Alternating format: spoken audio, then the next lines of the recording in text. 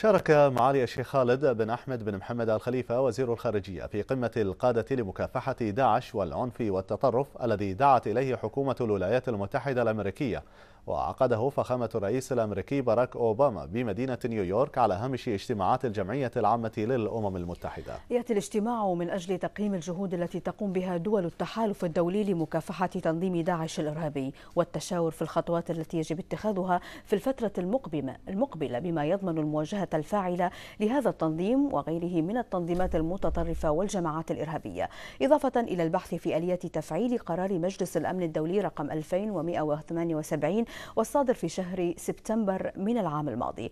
ويطلب ويطلب من دول العالم أن تتخذ خطوات معينة لمواجهة تهديد المقاتلين الإرهابيين الأجانب بما في ذلك اتخاذ تدابير لمنع هؤلاء من دخول أو عبور أراضيها. وتطبيق تشريعات تؤدي إلى ملاحقتهم أمام القضاء. وقد أكد معالي وزير الخارجية على التزام مملكة البحرين بالمشاركة في التحالف الدولي لمحاربة تنظيم داعش الإرهابي انطلاقا من موقفها الراسخ. والرافض لكافة صور وأشكال التطرف والإرهاب.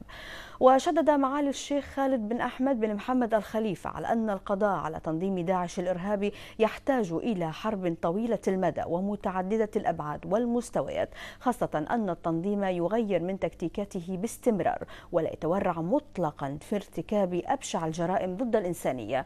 وهو ما يتطلب بذل مزيد من الجهد والعمل لأجل دعم العملية العسكرية ووقف تدفق الإرهابيين إلى هذا التنظيم ومواجهة التجنيد الإلكتروني عبر استمرار وتطوير الحرب الإلكترونية ضد داعش بالتوازي مع الحرب العسكرية التي يشنها التحالف الدولي. فضلا عن خلق التنظيم ماليا من خلال قطع سبل المال وتجفيف مصادر التمويل عنه وفتح حقيقته كتنظيم إرهابي لا يمت للدين الإسلامي بصلة.